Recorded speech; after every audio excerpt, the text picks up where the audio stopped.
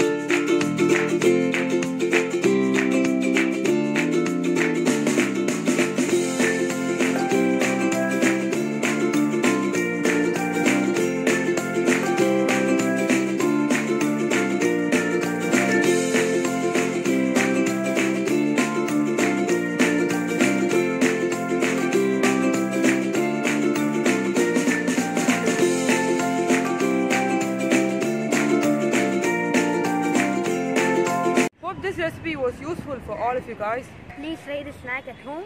and give your feedback in the comment box below. I'm Shreya And I am Siddharth. and we are signing off from ShreySid Vlogs and see you guys in the next video. Bye.